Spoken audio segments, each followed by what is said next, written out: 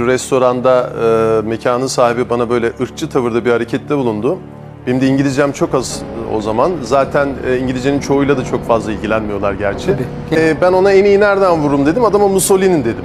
Tabii o onu hakaret olarak mı algıladı, övgü olarak mı algıladı bilmiyorum. Yani o faşist tavrından dolayı Mussolini dedim. Sonra çıktım tabii mekandan. İyi ki çıkabilmişsiniz.